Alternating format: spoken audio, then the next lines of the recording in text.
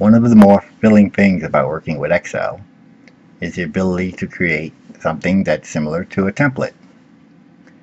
When we start a new spreadsheet, we want to be able to take a complex or complicated task and make it simple.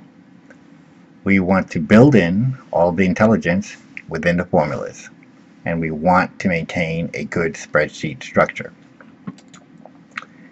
In this project, we have a sales journal where the information is entered about the activity of each salesperson, a price list that has a price associated with each item, commission levels and the percentages that go with them, and finally a table that summarizes total sales and commission earned.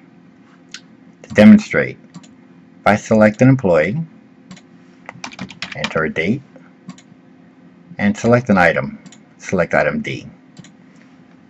Say Eric sold 100 of this item.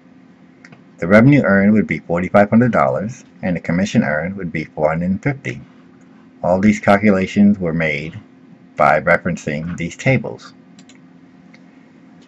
In this project, we used range names, data validation, if statements, VLOOKUP, and SUMIF. And we will start from scratch and show you how we did this, beginning with the next video.